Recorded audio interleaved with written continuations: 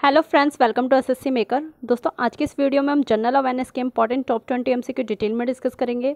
यह general awareness की series का पार्ट वन एटी है, जो कि आपके आने वाले railway NTPC group D SSC CGL CHSL MTS bank और ऑल एग्ज़ाम्स के लिए हेल्पफुल है। ये क्वेश्चन और कॉम्पिटिटिव एग्ज़ाम्स में बार बार पूछे जाते हैं और बार बार रिपीट होते हैं। सारे क्वेश्चन इंपॉर्टेंट इसलिए वीडियो तक ज़रूर देखिएगा और सभी क्वेश्चन से रिलेटेड एक्स्ट्रा फैक्ट भी जानेंगे। तो चलिए स्टार्ट करते हैं हमारा फ़र्स्ट क्वेश्चन उससे पहले दोस्तों, आज का थॉट जान लेते हैं। आज का थॉट है practice kindness all day to everybody and you will realize you are already in heaven now. दोस्तों, इसका मतलब यह है कि सभी के लिए पूरे दिन दया का अभ्यास करें और आप महसूस करेंगे कि आप पहले से ही स्वर्ग में हैं। तो चलिए स्टार्ट करते हैं हमारा फ़र्स्ट क्वेश्चन हमारा फ़र्स्ट क्वेश्चन है दोस्तों, किस समकालीन चित्रकार ने महात्मा गांधी पर चित्रों की एक श्रृंखला बनाई थी? तो दोस्तों, उनका नाम है अतुल डोलिया। दोस्तों, प्रख्यात चित्रकार अतुल डोलिया इन्होंने जो है महात्मा गांधी पर चित्रों की एक श्रृंखला बनाई थी। याद रखिएगा दोस्तों नेक्स्ट क्वेश्चन पर चलते हैं। हमारा नेक्स्ट इंपॉर्टेंट क्वेश्चन है, महात्मा गांधी कौन से व्यक्ति को अपना राजनीतिक गुरु या उपदेशक मानते थे? तो दोस्तों, आप सभी जानते होंगे, उनका नाम है गोपाल कृष्ण गोखले। दोस्तों, गोखले जो हैं, अपने राजनीतिक दर्शन में सच्चे उदारवादी थे और वह जो है दोस्तों संभाव और मृदु न्यायप्रियता में विश्वास करते थे।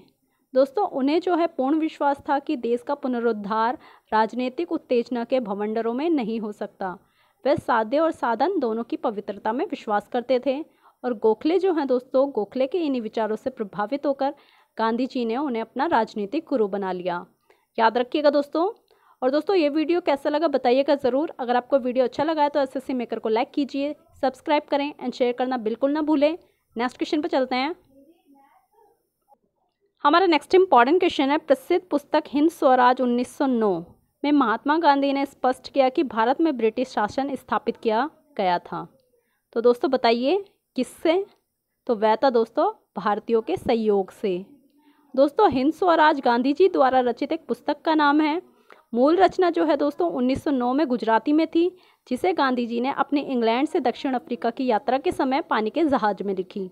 और दोस्तों ये जो है इंडियन ओपिनियन में सर्वप्रथम प्रकाशित हुई और इसमें महात्मा गांधी ने स्पष्ट किया कि भारतीयों के सहयोग से ही भारत में ब्रिटिश शासन स्थापित किया गया था। याद रखिएगा दोस्तों नेक्स्ट क्वेश्चन पर चलते हैं। हमारा नेक्स्ट इंपॉर्टेंट क्वेश्चन है, डैश भारत में महात्मा गांधी का पहला सफल सत्याग्रह था। तो दोस्तों, वह है चंपारण। दोस्तों, सत्याग्रह का शाब्दिक अर्थ है सत्य को मानकर किसी वस्तु के लिए आग्रह करना अथवा सत्य और अहिंसा से उत्पन्न होने वाले पल। ठीक है? दोस्तों, महात्मा गांधी ने भारत के स्वतंत्रता संघर्ष के दौरान 1917 में जो है, चंपारण यानी बिहार में सत्याग्रह प्रारंभ किया और ये जो है दोस्तों, गांधी जी का भारत में पहला सत्याग्रह था। याद रखिएगा दोस्तों नेक्स्ट क्वेश्चन पर चलते हैं। हमारा नेक्स्ट इंपॉर्टेंट क्वेश्चन है रोलेक्ट एक्ट वर्ष डैश में पारित किया गया था। तो दोस्तों, वह हुआ था 1919 में। दोस्तों, भारत में बढ़ रही क्रांतिकारी गतिविधियों को कुचलने के लिए सरकार ने 1917 में न्यायाधीश सिडनी रॉलेट की अध्यक्षता में एक समिति गठित की और इसके सुझावों पर मार्च 1919 में पारित विधेयक रॉलेक्ट एक्ट के नाम से जाना गया। दोस्तों रॉलेक्ट अधिनियम के द्वारा जो है अंग्रेज़ी सरकार जिसको चाहे, जब तक चाहे, बिना मुकदमा चलाए जेल में बंद रख सकती थी। इसलिए जो है दोस्तों, इस कानून को बिना वकील, बिना अपील, बिना दलील, ठीक है, इन सब का कानून कहा गया। याद रखिएगा दोस्तों नेक्स्ट क्वेश्चन पर चलते हैं। हमारा नेक्स्ट इंपॉर्टेंट क्वेश्चन है, किस त्यौहार के दिन जलियावाला बाग हत्याकांड हुआ था? तो दोस्तों, आप सभी जानते हैं, वह है बैसाखी। दोस्तों, पंजाब के दो लोकप्रिय नेताओं, डॉक्टर सैफुद्दीन किचलू और डॉक्टर सत्यपाल, ठीक है, इनकी गिरफ्तारी और ब्रिटिश दमन का विरोध करने के लिए 13 अप्रैल 1919 को बैसाखी के दिन अमृतसर के जलियावाला बाग में जो है, एक सार्वजनिक सभा बुलाई गई थी, जहाँ जो है, general Reginald Edward Harry Dyer ने निहत्ती शांतिपूर्ण भीड़ पर गोलियाँ चलवाकर लगभग एक हज़ार लोगों की हत्या कराई थी। याद रखिएगा दोस्तों नेक्स्ट क्वेश्चन पर चलते हैं। हमारा नेक्स्ट इंपॉर्टेंट क्वेश्चन है, जलियावाला बाग नरसंहार का बदला लेने के लिए लंदन में जनरल ओडायर को किसने मारा था? तो दोस्तों, वह थे सरदार उधम सिंह। दोस्तों, मार्च 1940 में पंजाब के क्रांतिकारी नेता उधम सिंह ने जलियावाला बाग के नरसंहार का बदला लेने के लिए इस हत्याकांड के समय पंजाब के गवर्नर गवर्नर रहे सर माइकल ओडायर की लंदन में हत्या कर दी थी, जिसके लिए उन्हें गिरफ़्तार कर मृत्युदंड दे दिया गया। याद रखिएगा दोस्तों। और दोस्तों, ये वीडियो शेयर करना बिल्कुल ना भूलें। आप सभी जानते sharing is the best way of learning तो शेयर ज़रूर करें। नेक्स्ट क्वेश्चन पर चलते हैं। हमारा नेक्स्ट इंपॉर्टेंट क्वेश्चन है, स्वतंत्रता संघर्ष के दौरान हुए असहयोग आंदोलन की परिकल्पना में यह शामिल नहीं था। बताइए दोस्तों, क्या है वह? तो वह है आम दंगे दोस्तों, असहयोग आंदोलन एक अगस्त 1920 को औपचारिक रूप से प्रारंभ किया गया था और 5 नवंबर 1920 को ऑल इंडिया कांग्रेस कमेटी के अधिवेशन में गांधी जी ने असहयोग आंदोलन शुरू होने के एक वर्ष के भीतर स्वराज, ठीक है, ये जो प्राप्त था दोस्तों प्राप्त करने का नारा दिया। दोस्तों, असहयोग प्रस्ताव में जो है निम्न, जो निम्नलिखित तत्व है वो शामिल किए गए थे। कौन कौन से हैं?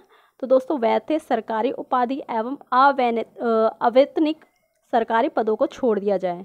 सेकंड था दोस्तों, सरकारी स्कूलों और कॉलेजों का बहिष्कार किया जाए। नेक्स्ट है, वकीलों द्वारा न्यायालयों का बहिष्कार किया जाए। फिर फोर्थ है दोस्तों, विदेशी सामानों का जो पूर्णत है उसका बहिष्कार किया जाए। लास्ट है दोस्तों, जो असैनिक, श्रमिक व कर्मचारी वर्ग थे, वो जो है दोस्तों, मेसोपोटामिया में जाकर नौकरी करने से इनकार करें। याद रखिएगा दोस्तों लास्ट क्वेश्चन पर चलते हैं। हमारा नेक्स्ट इंपॉर्टेंट क्वेश्चन है 1915 से 16 में स्थापित होम रूल लीगें निम्न में से किसकी सहायक इकाई के रूप में काम करती थी? तो दोस्तों, वह है भारतीय राष्ट्रीय कांग्रेस। दोस्तों, भारत में होम रूल आंदोलन प्रारंभ करने के लिए एनी पेसेंट ही उत्तरदायी रही। और दोस्तों एनी बेसेंट ने सितंबर 1916 में मद्रास में होम रूल लीग की स्थापना की। दोस्तों, हालाँकि ये जो है, इससे पहले तिलक ने अप्रैल 1916 में पूना में होम रूल लीग की स्थापना की थी। फिर भी दोनों आपसी सहयोग से अलग अलग क्षेत्रों में काम करते थे और ये होम रूल लीग भारतीय राष्ट्रीय कांग्रेस की अनुषंगी संगठन के रूप में कार्य करती रही।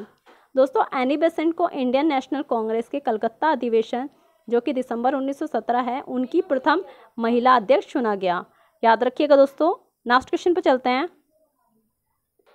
हमारा नेक्स्ट इंपॉर्टेंट क्वेश्चन है, स्वराज पार्टी के संस्थापक कौन थे?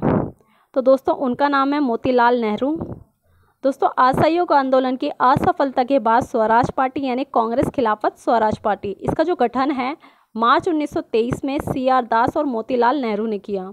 और दोस्तों सी आर दास जो है इसके अध्यक्ष और मोतीलाल नेहरू इसके महासचिव थे। दोस्तों स्वराज पार्टी ने अपने को कांग्रेस के अभिन्न हिस्से के रूप में प्रचारित किया और साथ ही अहिंसा और असहयोग के प्रति अपनी जो वचनबद्धता है उसको दोहराया। याद रखिएगा दोस्तों, नेक्स्ट क्वेश्चन पर चलते हैं। हमारा नेक्स्ट इंपॉर्टेंट क्वेश्चन है 1928 में गणित। टेडियंस फॉर इंडियन लीग के अध्यक्ष कौन थे? तो दोस्तों वह है श्रीनिवास अयंकर। दोस्तों 1928 में गठित इंडिपेंडेंस फॉर इंडियन लीग, ठीक है? इसके अध्यक्ष श्रीनिवास अयंकर थे, जबकि दोस्तों, जो जवाहरलाल नेहरू है और सुभाष चंद्र बोस, ये संयुक्त सचिव के रूप में नियुक्ति हुए थे, ठीक है? नियुक्ति हुई थी इनकी, याद रखिएगा दोस्तों। नेक्स्ट क्वेश्चन पर चलते हैं। हमारा नेक्स्ट इंपॉर्टेंट क्वेश्चन है 1927 के साइमन कमीशन का बहिष्कार किया गया था। तो दोस्तों, क्यों किया गया था? क्योंकि आयोग में कोई भारतीय सदस्य नहीं था। दोस्तों 1919 के मॉन्टेग्यू चेम्सफोर्ड एक्ट में जो है 10 वर्ष पर इसकी समीक्षा हेतु एक आयोग के गठन का प्रावधान था। किंतु ब्रिटेन की कंजर्वेटिव सरकार ने इसकी समीक्षा हेतु दो वर्ष पूरी मतलब दो वर्ष पहले ही जो है, नवंबर 1927 में साइमन कमीशन की नियुक्ति कर दी और जॉन साइमन की अध्यक्षता में गठित इस आयोग में जो है, दोस्तों, कुल सात सदस्य थे। चूँकि दोस्तों इसमें सभी सदस्य जो है अंग्रेज़ थे, इसलिए भारतीयों ने जो है इसे श्वेत कमीशन कहकर इसका बहिष्कार और विरोध किया। दोस्तों, साइमन कमीशन तीन फरवरी 1928 को बम्बई पहुँचा। याद रखिएगा, नेक्स्ट क्वेश्चन पर चलते हैं।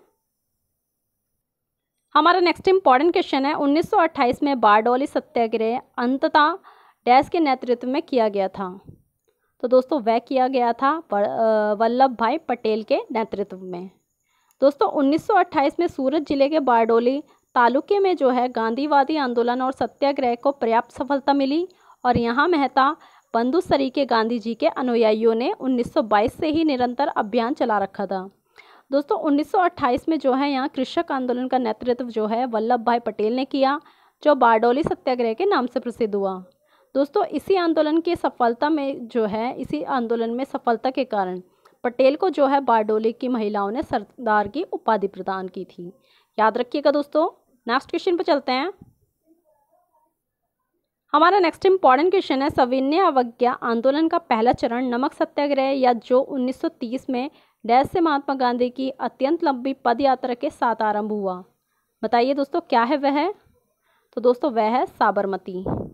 दोस्तों, महात्मा गांधी ने 22 सॉरी 12 मार्च 1930 को जो है अपना प्रसिद्ध डांडी मार्च शुरू किया। उन्होंने दोस्तों साबरमती आश्रम से अठहत्तर चुने हुए साथियों के साथ सत्याग्रह के लिए कूच किया और 24 दिनों की लंबी यात्रा के बाद उन्होंने 6 अप्रैल 1930 को डांडी में सांकेतिक रूप से जो है नमक कानून भंग किया और इस प्रकार जो है नमक कानून तोड़कर उन्होंने औपचारिक रूप से सविन्य अवज्ञा आंदोलन का शुभारंभ किया। याद रखिएगा दोस्तों और दोस्तों, ऐसी इंटरेस्टिंग वीडियोज़ और क्वेश्चन के लिए एसएससी मेकर को आप अपने दोस्तों के साथ लाइक कीजिए सब्सक्राइब करें एंड शेयर करना बिल्कुल ना भूलें। हर सोशल साइट्स पेज पे कीजिए ताकि आपके साथ साथ दूसरों की भी हेल्प हो सके। तो दूसरों की भी हेल्प कीजिए दोस्तों। नेक्स्ट क्वेश्चन पर चलते हैं। हमारा नेक्स्ट इंपॉर्टेंट क्वेश्चन है, दूसरा भारतीय गोलमेज सम्मेलन कब शुरू हुआ था? तो दोस्तों, वह हुआ था 1930 में। दोस्तों, सात सितंबर सॉरी 1930 और 31 ठीक है? दोस्तों, ये जो है सितंबर 1931 को हुआ था, माफ़ कीजिए करेक्ट कर लीजिए। दोस्तों, सात सितंबर 1931 से लेकर जो है, एक दिसंबर 1931 तक चले द्वितीय गोलमेज सम्मेलन में महात्मा गांधी ने कांग्रेस के एकमात्र जो प्रतिनिधि थे, उनके रूप में हिस्सा लिया और इसके अलावा जो है, सरोजनी नायडू और मदन मोहन मालवीय, इन लोगों ने भी जो है, दोस्तों, इस सम्मेलन में हिस्सा लिया था। याद रखिएगा दोस्तों, नेक्स्ट क्वेश्चन पर चलते हैं। हमारा नेक्स्ट इंपॉर्टेंट क्वेश्चन है, प्रांतीय चुनाव यानी प्रोविंसल जो इलेक्शन है प्रोविंशियल इलेक्शन कब, किस साल में भारतीय ब्रिटिश भारत में आयोजित किए गए थे? तो दोस्तों, वह थे 1936 से लेकर उन्नीस सौ सैंतीस में। दोस्तों 1935 के जो भारत सरकार अधिनियम है, भारत सरकार अधिनियम के आधार पर फरवरी उन्नीस सौ सैंतीस में प्रांतीय विधानमंडलों के चुनाव हुए, जिनमें कांग्रेस ने अपने प्रतिद्वंदी दलों का सफाया करते हुए पाँच प्रांतों जिनमें शामिल है दोस्तों मद्रास, बिहार, मध्य प्रदान मध्य प्रांत और बरार, संयुक्त प्रांत और ओडिशा। इनमें जो है पूर्ण बहुमत प्राप्त किया और कांग्रेस बम्बई लगभग जो पूर्ण बहुमत है, उसके साथ दोस्तों असम तथा उत्तर पश्चिमी प्रांत में सबसे बड़े दल के रूप में उभरी। दोस्तों केवल जो पंजाब है, बंगाल और सिंध, ठीक है, इसमें जो है कांग्रेस सबसे बड़े दल बनने से वंचित रही। और दोस्तों जुलाई उन्नीस सौ सैंतीस के दौरान छह प्रांतों में भारतीय राष्ट्रीय कांग्रेस ने अपने मंत्रिमंडल गठित किए। और ये प्रांत दोस्तों, मद्रास बम्बई मध्य प्रांत मध्य प्रांत, उड़ीसा, बिहार और संयुक्त प्रांत। दोस्तों, बाद में जो है पश्चिम पश्चिमोत्तर प्रांत और असम में, ठीक है? इनमें भी जो है दोस्तों, कांग्रेस ने अन्य सहयोगियों के साथ मिलकर गठबंधन प्रति मंत्रिमंडल बनाए। याद रखिएगा। नेक्स्ट क्वेश्चन पर चलते हैं। हमारा नेक्स्ट इंपॉर्टेंट क्वेश्चन है, सुभाष चंद्र बोस के पिता कौन थे? तो दोस्तों, उनका नाम है जानकी नाथ बोस। दोस्तों, सुभाष चंद्र बोस का जो जन्म है, तेईस जनवरी 1897 में उड़ीसा के कटक नामक स्थान पर हुआ था। और दोस्तों, सुभाष चंद्र जो बॉस हैं, उनके पिता का नाम है जानकी नाथ और माता का नाम क्या है बताइए? तो दोस्तों, वह है प्रभावती। याद रखिएगा नेक्स्ट क्वेश्चन पर चलते हैं।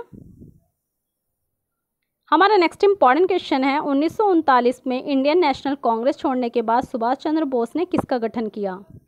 तो दोस्तों, वह है फॉरवर्ड ब्लॉक दोस्तों 1939 में त्रिपुरी संकट के बाद कांग्रेस की अध्यक्षता से त्यागपत्र के पश्चात सुभाष चंद्र बोस ने फॉरवर्ड ब्लॉक की स्थापना की। और ये जो संगठन है दोस्तों, ये संगठन वामपंथी विचारधारा पर आधारित था। याद रखिएगा दोस्तों नेक्स्ट क्वेश्चन पर चलते हैं। हमारा नेक्स्ट इंपॉर्टेंट क्वेश्चन है इंडियन नेशनल आर्मी का गठन किसके द्वारा किया गया था? तो दोस्तों, वह है मोहन सिंह। दोस्तों 1942 में जो है मोहन सिंह के नेतृत्व में इंडियन नेशनल आर्मी का गठन किया गया, जिसमें जापान के मलय अभियान, इसके तहत जो है दोस्तों पराजित ब्रिटिश सेना के भारतीय सैनिकों को शामिल किया गया और आई एन ए, ठीक है, आई एन ए का जो विचार है दोस्तों, विचार सूत्र ज्ञानी प्रीतम सिंह एवं फूजीवारा इन्होंने दिया, जबकि दोस्तों कैप्टन मोहन सिंह ने उन्हें प्रथम नेतृत्व प्रदान करने का साहसिक कार्य किया। याद रखिएगा दोस्तों नेक्स्ट क्वेश्चन पे चलते हैं। हमारा लास्ट इंपॉर्टेंट क्वेश्चन है, आज़ाद हिंद फौज यानी इंडियन नेशनल आर्मी आईएनए इसका गठन जो है दोस्तों, कब किया गया था? बताइए। तो दोस्तों, वह हुआ था 1942 में। याद रखिएगा। तो दोस्तों, ये थे जनरल अवेयरनेस के important top twenty M C Q most important question I hope ये वीडियो आपको पसंद आया है। ये वीडियो कैसा लगा कमेंट बॉक्स में ज़रूर बताइएगा। पसंद आया तो अपने स्टडी रिलेटिव ग्रुप में शेयर ज़रूर करें और एसएससी मेकर को लाइक सब्सक्राइब एंड शेयर करना बिल्कुल ना भूलें। आज के लिए बस इतना ही। थैंक यू सो मच दोस्तों।